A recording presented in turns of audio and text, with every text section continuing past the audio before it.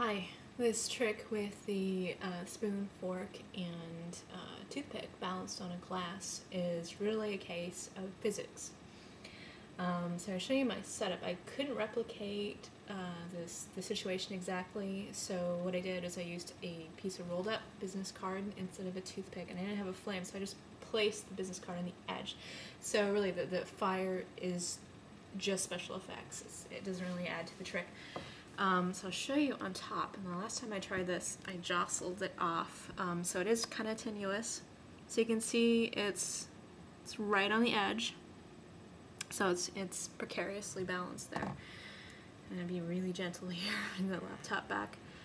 Um, okay, and you can see that nothing is touching the ends here, nothing at all, so it's totally held up on its own.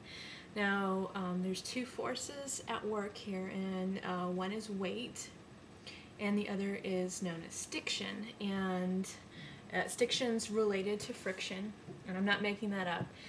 Um, on the edge of the glass, there's like a, a curved rim on the glass, so what's happening in this case, the business card, is being gripped by that glass. So there's enough, uh, the weight of the utensils um, is being balanced by just that force of stiction.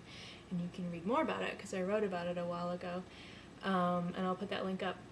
So, yeah, just physics, not magic. Sorry, guys.